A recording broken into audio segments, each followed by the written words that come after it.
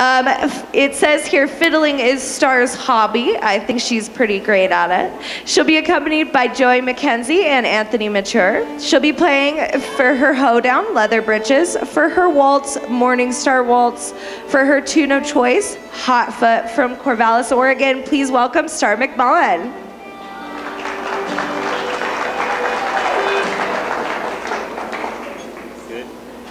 Yeah, I think so.